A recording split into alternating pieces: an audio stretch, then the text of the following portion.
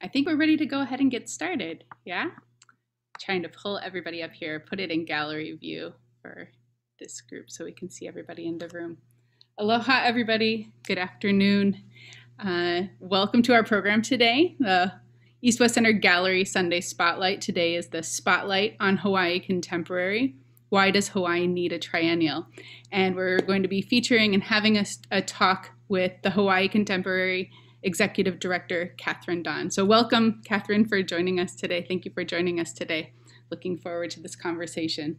Um, as we're still, uh, the East West Center Gallery continues to be closed to the public um, given the current uh, pandemic, but we are still continuing to offer uh, programming in conjunction with our current exhibition.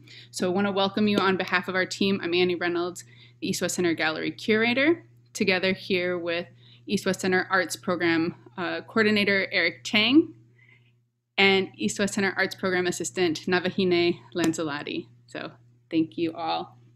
Um, as we're closed to the public, uh, we bring you these, uh, these programs that are in conjunction with our exhibition that's called Beyond the Surface, and we're featuring permanent collection works um, that were gifted directly from the artists.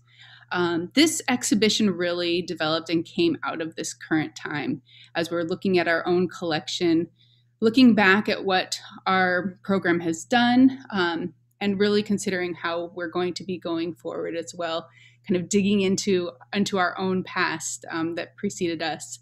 Um, we have actually installed the exhibition with the hopes that we will, uh, in the coming months, be able to open the gallery to the public.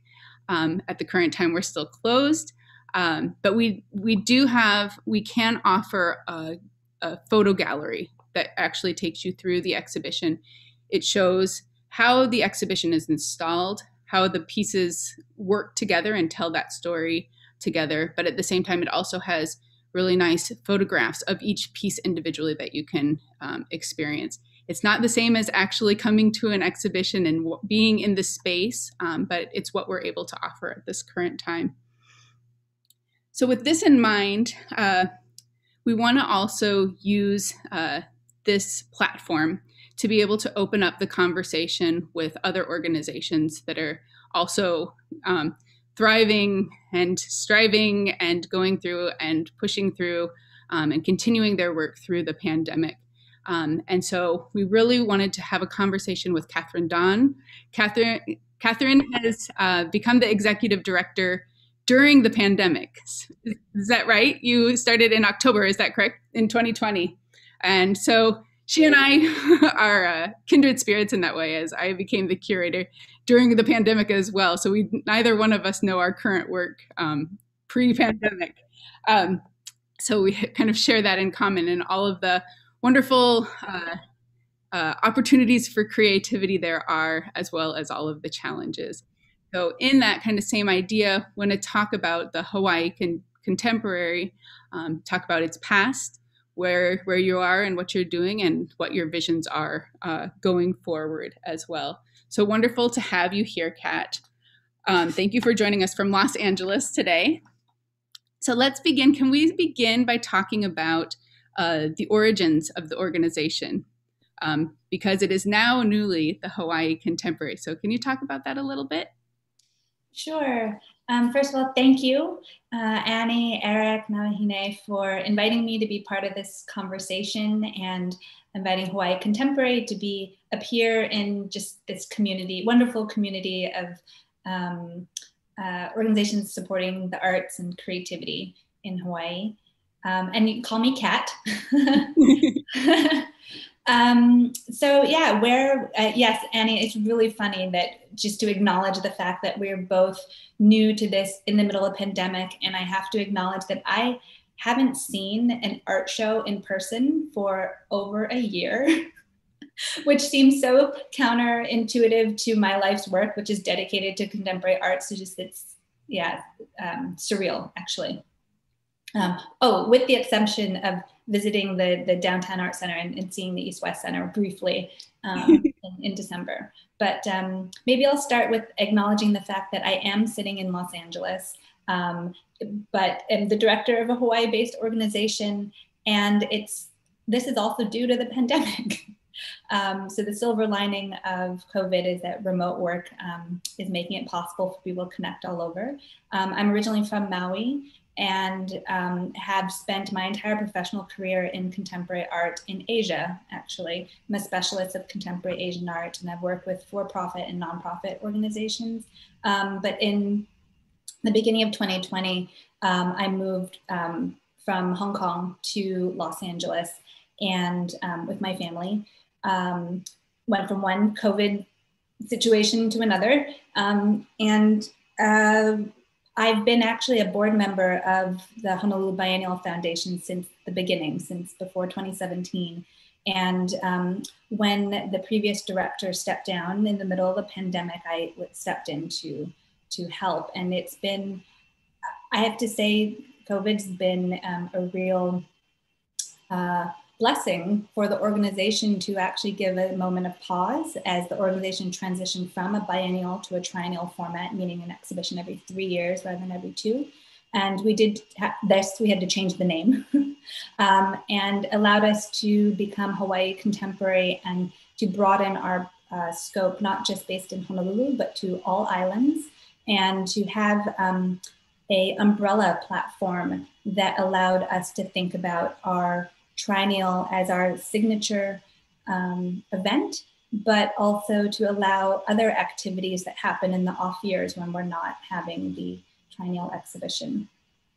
So um, yeah, that, that's a brief background um, for where we are. So then um, you had two previous art biennials here in, in Honolulu, and mm-hmm that time it was still in Honolulu only. So 2017, 2019. Um, can you talk a little bit about the origins, sort of the mission and some of the goals and kind of creating a biennial that's based locally here in, in Hawaii? Yeah, absolutely. So speaking on behalf of the founders, um, which include uh, uh, Dr. KJ Baysa, Isabella Hughes, it actually began with an exhibition called um, Chain of Fire that started in 2014. And I think that's when um, there was this swirl of conversations following the close of the Contemporary Museum. Um, in, I believe it was 2010. I think it was, it was very much due to the financial crisis and situation.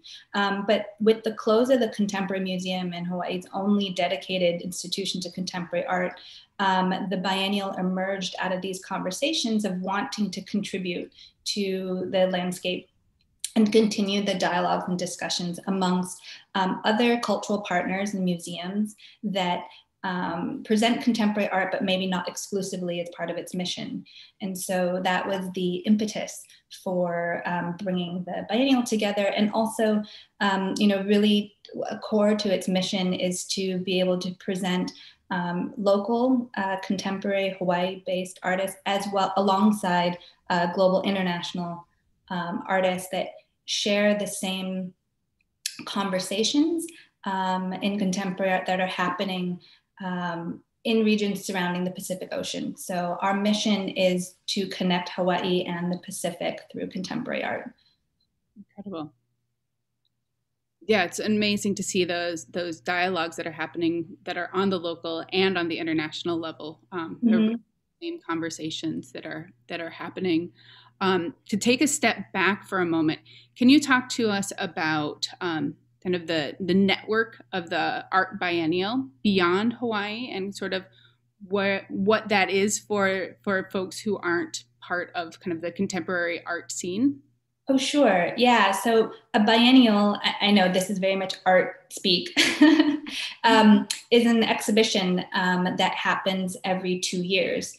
And um, and I apologize, I should know actually know the specific dates for the origins of this, but you know the the, the idea of a festival an arts exhibition um, uh, and its ability to bring together voices on a global level um, usually is attributed to um, Havana Biennial, which I believe first started in the 80s.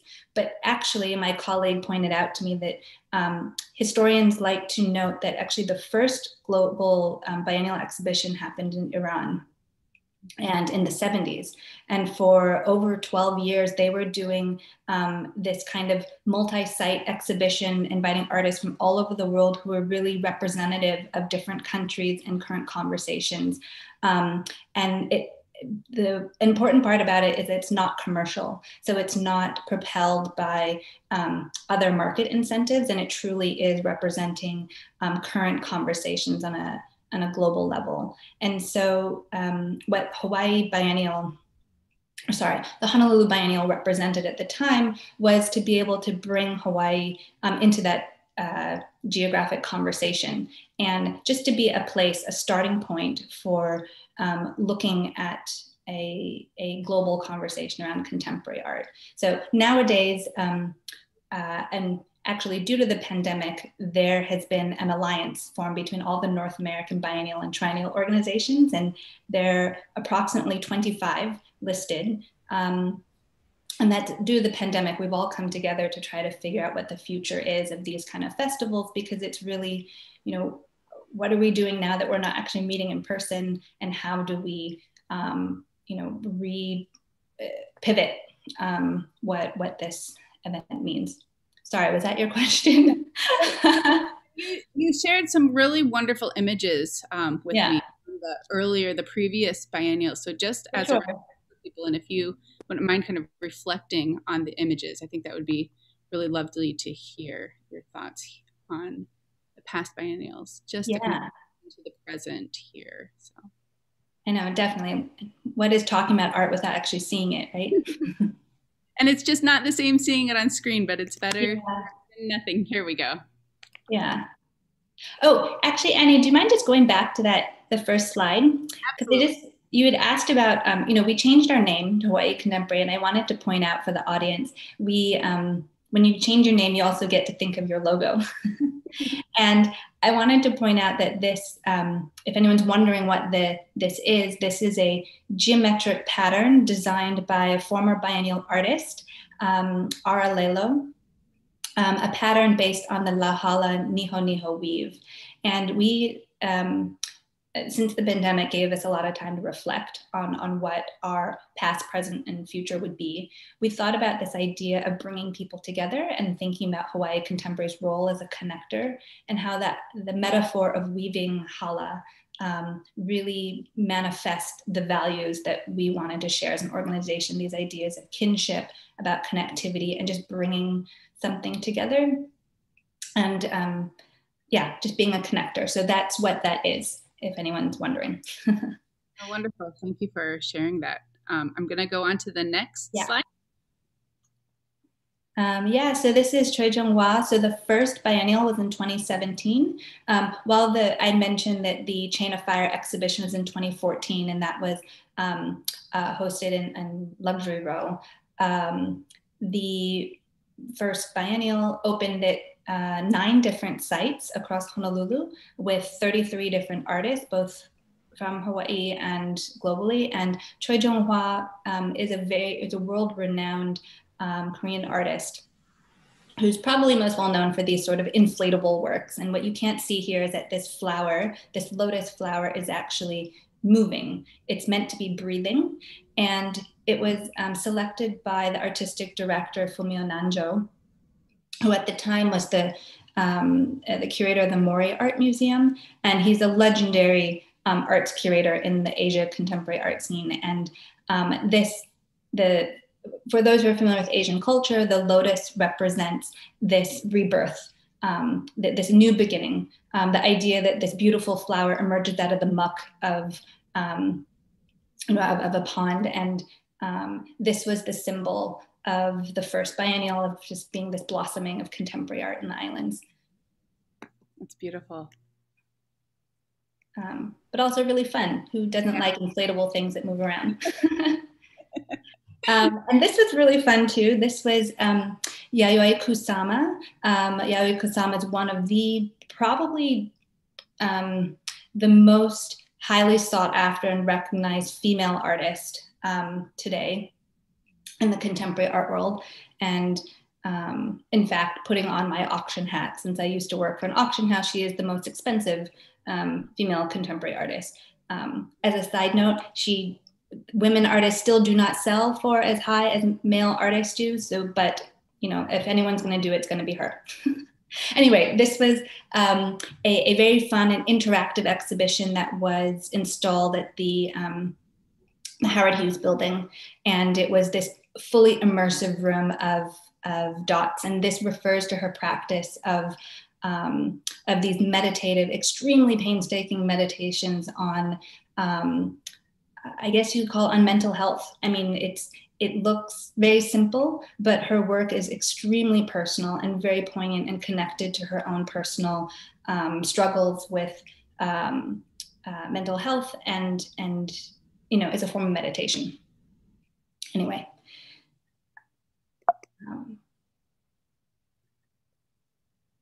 And oh yeah, this is just this was the hub. Um, hopefully people remembered this. Um, but we were very lucky at that time to work with the, um, or be sponsored by the Howard Hughes Corporation um, that helped catalyze the, the magic of the, uh, the 2017 biennial. And in this pavilion, which was called the Hub, um, we had over a dozen different artists exhibited um, uh, on site. And then there were um, eight other exhibitions at different partner institutions like Shangri-La and the Honolulu Museum of Art. But um, you're looking at an image by Eko Nugroho. Um, and um, I, oh, I, didn't, I don't think I put the image in here, but I love his work because it said, um, you know, all we need is tolerance. And I think that this is really um, just one of the things that we love about contemporary art that, uh, you know, artists are sharing a social message. And this is very much at the core of what the biennials are trying to do. It's not trying to be a um, display of art for art's sake.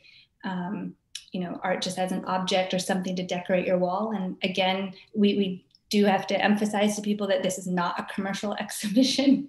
Um, we're, we're, we're bringing together these artists to show their works, not with the intention to sell them, but really to share a message. And um, his works uh, are Eko Nugroho particularly is well known um, in uh, the contemporary Asian context for using this graffiti-like um, style, um, which is he's usually doing murals and, and um, graffiti-like work, but with just very strong social messaging. So, um, yeah. yeah exciting to see art come up in such a such a uh, beautiful way in spaces that aren't aren't usually uh, featuring art so so prominently. So I just remember mm. uh, just seeing the front of this of this building um, again. It just was such an exciting time.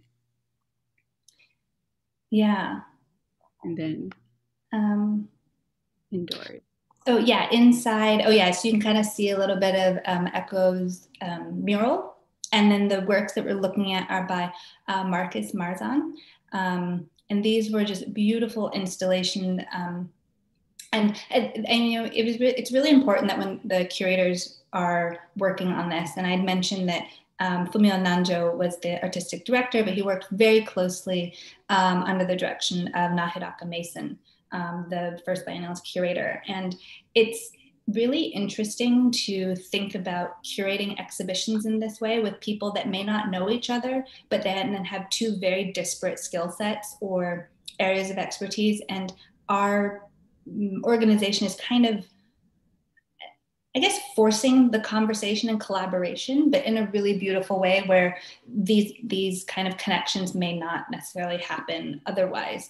And in the art world, things get to be um, are very often labeled with like very simplistic terms like countries like here's chinese art or indonesian art or something or um, by medium and say like here's paintings or sculptures and what the biennial is trying to do is not adhere to some of those labels and to focus just more on, on the thematic um, pressing uh, conversations in contemporary art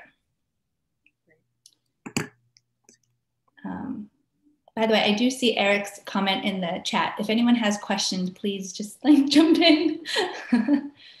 Um, oh, and this was teamLab. This was uh, the Japanese um, uh, collective that um, most people around the world know their work for just these super fun um, interactive digital art displays where you know what they do is like they're capturing your movement and then it's being projected up on the walls or um, in this particular image was these projections of flora and fauna moving around on the ground and kids were invited to or kids of all ages were invited to draw their own interpretations and they were then scanned and then reprojected. So it was this beautiful um, in interaction but um, you know when i think this was uh, probably one of the most memorable because it was just so um, accessible for people but um, i just learned from our current curator Miwako Tezuka, um, who's the curator for the current uh, upcoming Hawaii Triennial, and her specialty is Japanese contemporary art. Um, she spoke about teamLab's origins as, you know, not so much of a like a gimmicky, uh, um, a creative collective group. I mean, they're now some of the most successful artists um, in Japan working today. But the idea came from wanting to really expand on Japanese tradition and the idea of from Japanese painting, actually, birds, flowers, um, landscapes, these very iconic um, things, and, and how to resonate with the next generation of, of an art audience. And this was, teamLab was their response. Um, and anyway, they're always thinking as a group, they're always thinking about how to take art beyond the museum walls. So literally, they're doing that. Um, yeah, this is the um, en- the entrance to 2019. Um, the the hub, and this is a work um, installation by Cory Taum, um, who proudly he just was awarded the Joan Mitchell Award at the end of last year, and that's like a hugely prestigious art award in the art world. um, uh, similar to like the MacArthur grant, which is considered like the Genius Award, the Joan Mitchell Award is a very prestigious grant. So it's just really wonderful to see um, uh, Hawaiian artists being recognized on an international level. So um, yeah, we take pride in that. And we always, you know, we have such a small community, so we always want to celebrate everyone's um, contributions, even if it's not related to just like the biennial in 2019. And um, this was a work by Leland Miyano um, at the Foster Botanical Gardens. Um, this was this huge result of community collaboration of um, gathering invasive species um, not from Foster Botanical, but another botanical garden, and bringing volunteers together to help Leland weave together um, a canoe uh, boat, and it had this was just this was the recipient of the Golden Hibiscus Award that was launched by the foundation um, to you know recognize a singular contribution to um, the contemporary art conversation, and um, I, I just love this image because it's it kind of I just think the creation of it also represents a lot of what Hawaii contemporary aspires to do, which is really bring people together in the creation of work. And it's not just about like the destination. It's very much about the journey as well. So, you know, um, there was over 70 volunteers, and I believe it was from the HMSA um, uh, volunteer group that helped him put it together. And I think the next image is also, it's Bernice, right? Akamine. And yeah, her Kue um, Kalo project. And yeah, um, this was also a work of um, volunteers. So what you're seeing, Annie, we were talking about this. I wanted more pictures with people in it, um, but these are just the install shots. Um, this is the uh, this was the end product of this procession that actually Bernice um, started in Washington, D.C., where she created all of the, these kalo plants. And the kalo plants are um, uh, the, the, the anti-annexation petitions that um, she's crafted into a kalo plant. And she traveled this work from DC, and the end point was um, here at Iolani Hale. And again, I think over 150 volunteers walked with her from Iolani Palace to the Hale, and it was this. Um, it was a performative work. So this is the end of the performance piece. Wonderful. Sorry, am I going too much into the art? like, it's just fun to revisit this. Really wonderful to to reflect back on the two previous biennials and mm-hmm. and space. And I love hearing uh, about the community engagement in the in the installation process too. So really um, getting the community involved in there. Let's see, going on. Yeah. Um, yeah, and this was also Bernice's work that appeared at different sites um, around Honolulu. And um, I, I, sorry, I don't remember the name of the work, but it was a um, addressing houselessness that exists in Hawaii. And um, that the ideas, um, just bringing up all these very pressing ideas about place, about sovereignty, about land rights. And, um, you know, I think this is the way that art has the power to catalyze conversations. And I think very much when right now we're working with the next Hawaii Triennial curatorial team and we're working through different artist proposals where you know the conversations are all literally about how is this artwork creating conversation or contributing to a narrative that's um, uh, that's important both to the artist but also to the people it represents and the, you know how is it going to be read um, in, in context. So um, and yeah this is just another um, uh, I'm just looking at this and like this is the work of a massive installation effort um, by the artist Chiharu Shiota, um, who um, internationally recognized. And I guess I should mention that you know some people may not be familiar with all the artists that are usually exhibited in the biennial, and that's that's okay. Um, but it is like just we're so proud to be able to bring together artists that in their own respective contexts like um, you know from japan or from from east asia or southeast asia that they're all like the leading voices of their communities so even if um, you know that's sort of the lens in which um, artists or projects are, are selected that they you know they're representative of these conversations happening all over the world um, and, yeah, this this that Chiharu Shiota's work was the was first exhibited at the Venice Biennale. And for anyone who hasn't heard about the Venice Biennale, that's like the Olympics, the main the main event for the art world um, that happens every two years. Thank you. Um, oh, so I think this is a series of images. Um, I think you were um, one of your questions was about uh, who our partners are or where we're exhibiting. Yes. So we're really proud that in uh, 2022, for the first time, Hawaii Contemporary um, will be partnering with Iolani Palace and as one of our venues for, for the contemporary multi-site contemporary art exhibition. And um, it just, yeah, it, these are just uh, a handful of images. Sorry, this is pixelated, um, but uh, we'll be working with Bishop Museum and um, Foster Botanical Gardens, again, the city and county. Um, we are exploring some other sites with the city and county, including some abandoned bunkers. Um, and one of the ideas that the curators are um, sharing, and this was explored in our recent art summit, is um, you know this idea of the chance encounter and the unexpected. So um, kind of like that feeling that people had when they saw teamLab um, for the first time in 2017 that you know oh wow this is contemporary art and it's immersive. Um, that same uh, approach is what the curators are thinking about when they're trying to build the next triennial. And um, we're also working the honolulu museum of art. And i believe the next one is shangri-la as well. Oh hawaii state art museum. And um, yeah, and Shangri-La. And these are just um, our currently confirmed partners. Um, we are working with a few other sites and lots of planning that's getting done between now and next spring. Great. Wonderful. It's so nice to hear about kind of where the organization has been.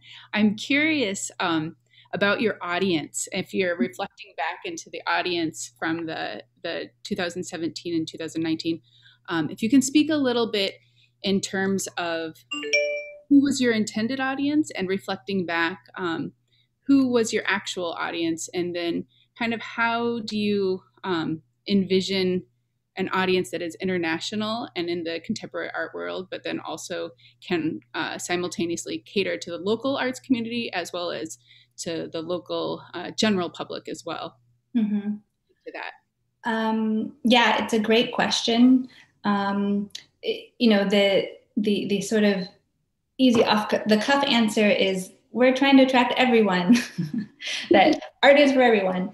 Um, but you know we acknowledge that that truth that you know we are we're a very young organization and um, it, you know i can just speak in broad brushstrokes. I wasn't as intimately involved in the first two iterations but um, you know in 2017 the total stats for visitors was nearly it was 97000 um, viewers over a period of um, over a period of eight weeks, eight to nine weeks, and that was at all the different venues. And 20% of those um, visitors were from out of state. And in the next iteration, um, the organization was able to increase um, the out of state or non local visitors um, to 40%. So 60, and, and also increase the total number of viewers to over 100,000. Um, and that's, I mean, just for any festival or arts event, I mean, that's just a huge um, number of um, eyeballs for people in enjoying contemporary art. And I know that for the second iteration, um, there was, you know, more education programming and more focus on keiki. And um, there was over 6,000 students that were actually um, part of uh, docent led education tours to the hub. And this was you know a concerted effort by the organization to to articulate to ourselves that really we are um, we're focusing on on the next generation on you know younger people and the purpose is you know we all care about our kids and the next generation in the future. But um, you know i think that there's uh, we're also subscribing to a philosophy about um, you know if we don't cultivate an interest in arts early on it's something that may not be as natural or um, intuitive later on in life. And um, i mean speaking from my own personal experience i'm really lucky that my family um, like you know embraces creativity and i got dragged around to museums and um, arty things a lot as a kid. I, can tell you i didn't really understand any of it but it um, it did create a, a f- formal interest of mine to um, somehow be involved in art. Um, i yeah i know I, I, also i did do studio art in um, in university and very quickly figured out that I should not be doing studio art, but I like to be involved in art. I, I, majored in art history and East Asian studies. So, um, well, can we turn to talking a little bit about the current work that you're doing during the pandemic? Because uh, it seems like the organization is really kind of, besides being in the pandemic, was already within uh, kind of a transformational period in itself, going from the biennial to the triennial, and mm-hmm. that kind of coincide with the pandemic. You kind of get to be a biennial and a triennial with your current summit work. You got to kind of hit that hub with the two year mark um, and still right. be um, visible and have great programming, but then mm-hmm. it also helps you kind of transition and and um, pivot forward to the triennial in 2022 that you're building up to. So, can yeah. you talk a little bit about the summit and your um, recent work that you guys sure. have been? Sure. Um, yeah. So the art summit, and actually, just following on your earlier question about audience, you know, I think what we um, uh, so before the pandemic, we had actually already planned to have an art summit because we knew that um, we needed something um, in lieu of having the biennial in 2021. So we were thinking in a very traditional way of like, we're going to have an in person discussion with our curators and some of the artists about what the triennial would be. And as we all shifted into um, COVID mode, and virtual crash courses, Zoom, um, we, we, we just um, you know, went full on for a virtual um, dialogue and conversation. And coming out of it um, after, you know, it was a four day program and we just um, uh, had the videos live in the month of February. Our audience, it, it's, it's amazing. Um, we had nearly 3,000 registrants from over 67 countries. And for, we had 16 different um, uh, videos, um, conversations that happened that um, on average, I had to, I just had to look up these stats because we're preparing them, but we had over 60,000 unique views of these videos collectively. And like, we would never, what the, the numbers I'd shared before, 100,000 over a period of 11 weeks, mm-hmm. we would never have gotten that much, um, uh, uh, you know, direct attention. I mean, so we just, uh, it really exceeded our expectations. Um, and to be honest, I was told that we were lucky if we would got 500 people just to like sign up and pay attention. So to get where we have, I mean, we're just so grateful to all of our partners and um, everyone that we worked with to help us get the word out, including the East West Center. yeah, congratulations. Um, Incredible. And yeah, so I mean, what that really was a big learning curve for us and a positive one because um, even right now, just coming out of it, it's catalyzed all these wonderful conversations, even before we've opened the triennial. And I think it's been really also helpful for our curators and artists um, to just get the, I don't know, the brain waves going about it. But, you know, for us, actually, the biggest thing was no one's been able to travel. And when you're planning a in-person exhibition usually you bring everyone over you do a lot of site research. Um, no one's been able to do that and we've been doing our best with with zoom and virtual visits but like we all know nothing replaces in person and so the summit was also a way for us to try to communicate who we are, what is Hawaii. Um, in the summit, we had all of our partners present, are presenting venues, like present themselves and talk a little bit about the history of the organization and to use video to just show people what we're talking about. So um, we did, we all put on a little bit of a like video editor, content producer hats to try to um, share that with everyone. And and it, it, doesn't replace you know in-person visits but it did um, it is helping um, you know get the the conversations going. Yeah that's incredible. I'm, I'm just curious um, how do the artists and the curators work together?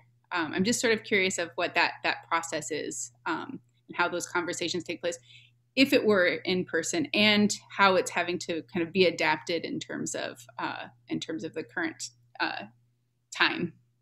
Yeah well i mean you, no one's traveling and we're you know, um, uh, so the curators are working together under this um, thematic umbrella of Pacific Century.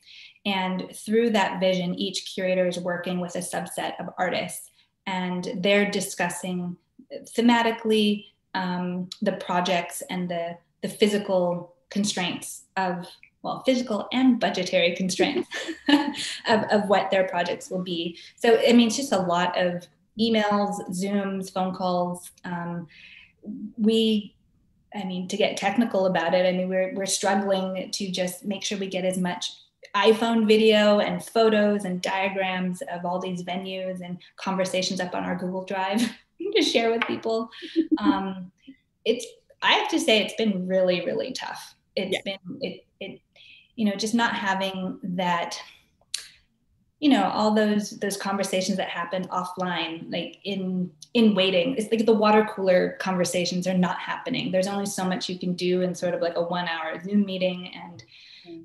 you know we're we're doing our best but um you know thank goodness for zoom if we didn't have that. No, no imagine a pandemic happened 20 years ago. We wouldn't have the same place at all.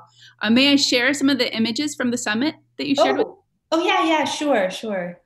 Just nice to pull those up for a moment. There we go. Oh yeah, so um, these were a handful of our keynotes and speakers. So we, our curatorial director is Melissa Chiu. She's the current director um, of the Smithsonian Hirshhorn Museum and Sculpture Garden, Washington D.C. Um, she is also a specialist and curator of contemporary Asian, specifically Chinese art, and was the first.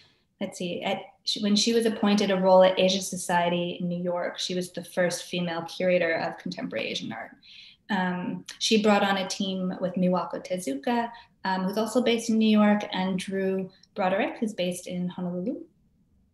And um, through them, they helped um, uh, curate the, the summit program, um, which meant inviting a number of um, key speakers and voices um, that we are all that it, the whole conversation meant to be the precursor to the triennial. So we had Ai Weiwei, we had Theaster Gates, um, we had the scholar Homi Bhabha, who during the summit he talked about. Um, he and Melissa talked about actually the origins of this idea of Pacific Century and this term um, that uh, you know in the 20th century. People have referred to it as the American century and how the 21st centuries might be a Pacific century. So I know that term itself is highly charged with a lot of polemical debate. And that's great because the whole point of art and the summit is just catalyze these conversations. So very much we welcome, I, at least I do, um, you know, the, the dialogue. And um, here we have pictured Kapulani Landgraf, Jamaica Osorio, and Gaye Chan from EDM Public. And um, for anyone watching, if you didn't catch the summit, um, it's not currently available on our website, but you can just email me. We're, we're happy to um, share these videos. And we're currently working with a number of um, potential education partners to you know, continue the, the, the presentation of, of, the, of the content. So anyone from any education institutions, feel free to reach out. and yeah, I think the other images were just some of the other voices um, that were in the summit, which I will note like what we did as the structure. And this was, you know, we're very grateful to some of the conversations we had with with you and with Eric before, because we were trying to just figure out how to do this, not having done a virtual conversation before. But what we did is that each day um, had a live Zoom session after the keynote session. So, in the live session, rather than just immediately opening up to questions, um, my colleague Sarah Raza led a um, uh, an experts panel. Uh, we called them like live digests with other experts from the arts community talking about what they just heard with the keynotes, and that um, was was really um, engaging and successful and um, and I'm just, this is a good visual reminder what we were doing. but you also noticed there were um, some younger non-art world people who were involved in, in the summit. Um, for example, on our last day, Ohana Day, we, um, because the themes of the triennial um, circulate around um, environmental awareness, social equity, land rights. We invited young youth activist Kavika Pegram from um, Hawaii Climate Youth Strike and Nakia Tepalo from who started Black Lives Hawaii to have a conversation with um, Professor Mari Matsuda and Jamaica Osorio talking about activism and change and you know using art as a launching point but just talking about how that's supposed to be a catalyst for for talking about like just pressing ideas and and and motivating people to participate in, in a conversation that's actually going to help um, our community. So that was the um, conversation that happened on the last day. Anyway, um, yeah, it was really fun. We also had a cooking show on Ohana Day. That so that's why Gooch is there. Um, and then um, I wanted to ask you. So uh, now you're going into this triennial um, uh, mode instead of the biennial. And I think I would imagine that gives you a little bit more breathing room to have three years between, yeah, a little more breathing room. But I'm wondering by opening up to that triennial instead of the biennial, what does that make room for? And how do you kind of see, um, what are you going to be doing in the years between to kind of be working on the ground and kind of uh, uh, kind of continuing to be visible in the years between the triennial? Yeah, no, it's a great question, and it's something that the organization um, we're we're just starting to address that. Um, in the early days, I mean, since we started with uh, Chain of Fire as a, as a visual arts exhibition, um, that was um, the foundation's answer to doing something in the off years, just have a smaller visual arts exhibition. Um, I think right now for Hawaii Contemporary and looking forward and thinking about, first of all, we're still not out of a pandemic, so we can't really organize another in person exhibition, but we're finding that. Um, I mean, we've articulated to ourselves that we think our value add to the community can be more focused on educational programming and um, building connectivity between the community in the off years. Um, when I joined uh, in the middle last year, I spent a lot of time like just talking to all our partners, trying to get to know some of the past artists and just understanding the biennial from their perspective. And one of the, the most um, common responses for, you know, why does Hawaii need a biennial or why does why do we have to exist was um, about having a sense of community, bringing some of these artists together. Like if with um, some of these artists, especially on other islands, talked about just how important it was for them to be able to meet other working artists that they would not necessarily come up uh, upon because maybe they're just not invited to the same exhibitions or they're just not in the same circles. And you know, I I think that's really important about having opportunities to just get together. With Zoom, it's actually, you know, it's a, the opportunities to get together happening all the time. Like we can just be on Zoom all the time. But that too is really important. Um, we were talking earlier about um, the professional development workshops that we started, and that East West Center is now kindly, you know, also doing round two of that. And um, that was one of our responses to how do we first as an organization keep in touch with our artists um, and creatives um, but also how do we give back do something um, in the beginning when the covid first hit we were just like trying to look up different grants and financial resources and make sure artists knew about them because there was a lot of support happening on a federal level um, that was trying to ensure that the creative community could weather the, the storm. And so we approached it that way. We developed this professional development series that was led by my colleague Sarah Raza, and we, it was a six-week program where we invited specialists. We worked with the Hawaii Arts Alliance and Pu'uhonua Society to, um, oh, and the whole program was uh, kindly supported by the Taiji and Noiko Family Foundation, um, so that we offered a free six-week course for artists to um, have these professional development workshops with people specializing in fundraising, in um, uh, digital media and marketing, and all these skills that people, you know, just in the creative industry should have. Um, and like coming out of that, I think the response is really positive. That one, they got to meet each other, like again, a, a way to connect and create this cohort, but also to have a safe space to ask very personal questions about like what do i do with my arts career? Should i get a master's or should i you know carry on? Or how do i do grant writing? It was really important i think to hear like where certain people are in their careers. And and for us to have a chance to share our knowledge um, because it, it's also different for me. Me and my colleague sarah we um, are, have developed our professional careers outside of Hawaii. And so we're also trying to help be a bridge where we can um, if people are trying to reach um, uh, platforms and organizations, you know, internationally. Great, great, wonderful. Well, Kat, I have one final question before we can open it up um, to more questions from uh, people who are in the audience here. But I wanted to ask you really, what's your vision kind of going forward uh, with the organization? Um, well, that's a big question. are you like? you know, I just, I, I hope that everything that we do um, resonates with the idea of being a connector um, and just going back to our simple mission of trying to connect Hawaii and the Pacific. And to us, being a connector, it, it means collaboration and um, being the fact that like we are not a brick and mortar facility. Um, we are not, uh, you know, we're something a little bit.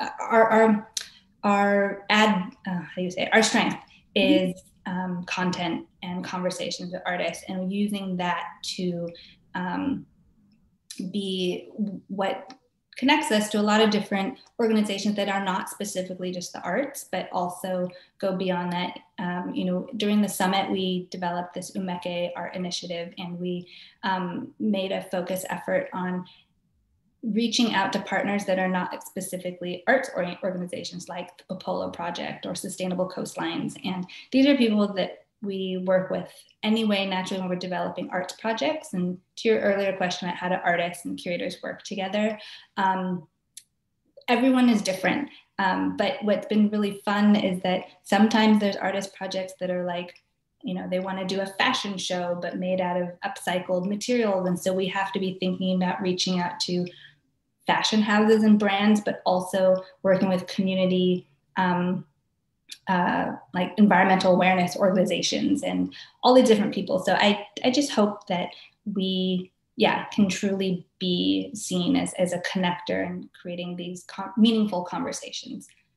Wonderful. Well, thank you for joining us today, Kat. Really appreciate you taking the time. I know you're very busy already getting ready for 2022. I can only imagine. but I open it up to the floor. I think we have, um, with who we have here in the room, uh, I think we can open it up. And if anybody wants to uh, turn your microphone on, unmute yourself, and go ahead and ask a question directly to Kat.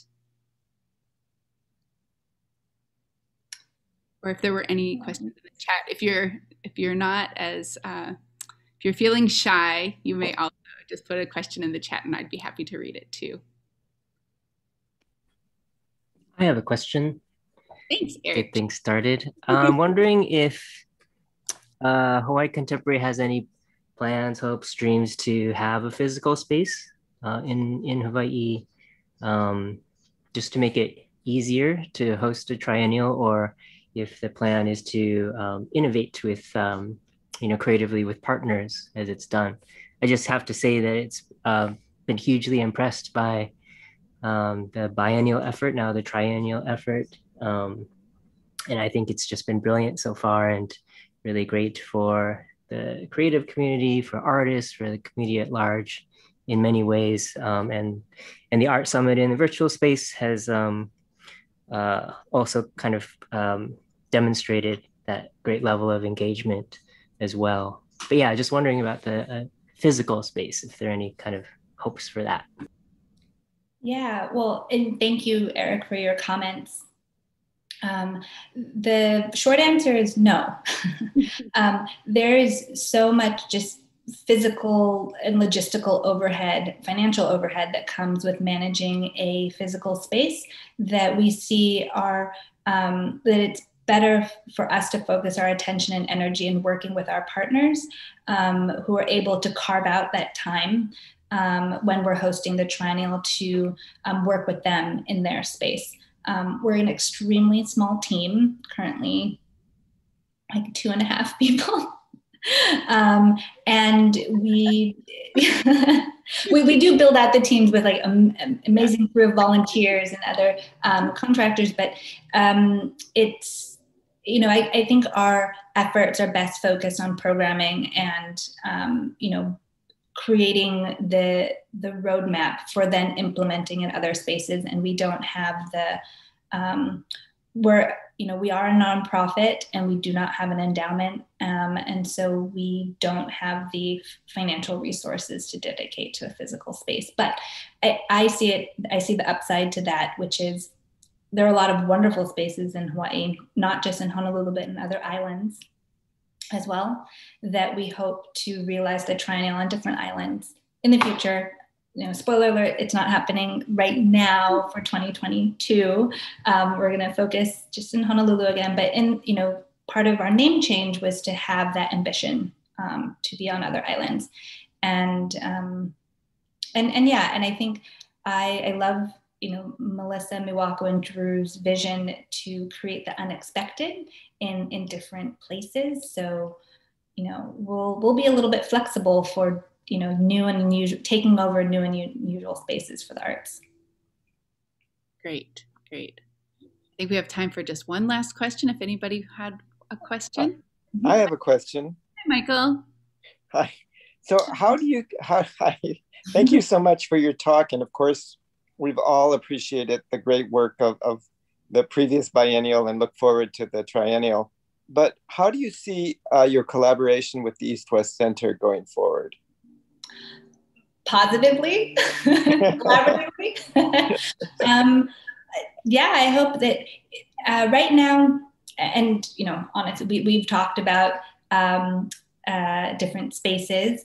Um, we have, I see the organization as having different ways of collaborating with other partners, not just in terms of access to space, um, but in terms of education programming or outreach, um, or even doing research. Um, you know, in a non uh, when we can all travel again, I think what's so important for artists who are participating that are not from the island, it's really important for them to have, be able to learn about Hawaii and um, what the conversations are through our partners, not through us. I think actually just, you know, the earlier question about how are we planning virtually, it, we're kind of becoming the bottleneck a little bit with these conversations with artists because, you know, there's only so much that we, they, we can share from our experience. It'd be so much more helpful if they could get information from a lot of different people and kind of create a more holistic um, understanding of the islands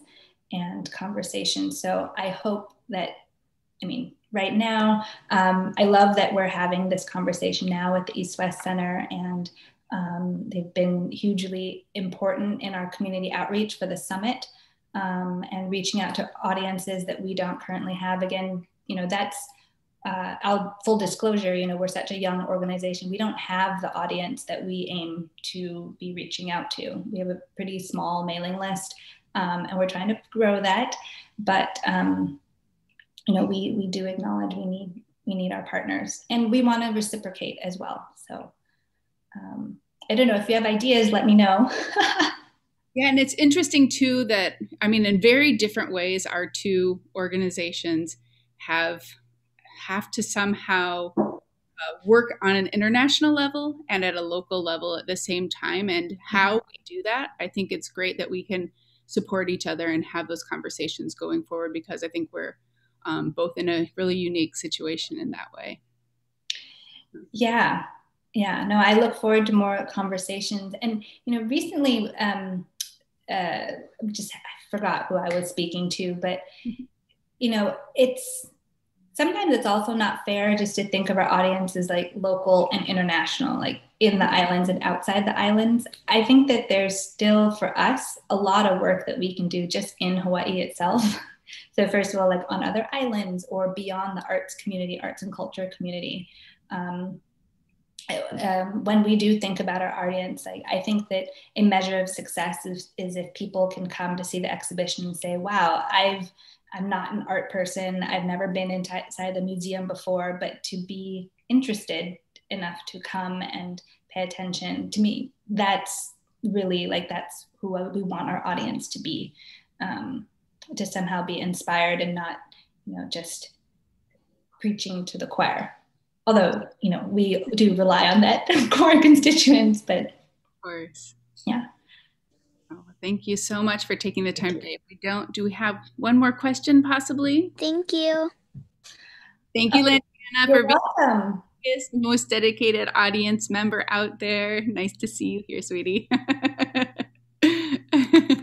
but thank you so much, Kat. Um, really happy to talk to you and have this conversation with you today, and looking forward to continuing working with you and seeing the great work that you are all doing in your organization. Um, just really an exciting, exciting time. So, thank you everybody for joining us this afternoon and we will be having more conversations and more programs in conjunction with the current exhibition, and we'll be sharing more info- information with you soon. So, thank you for staying with us this afternoon. Aloha. Bye, Thank Mama.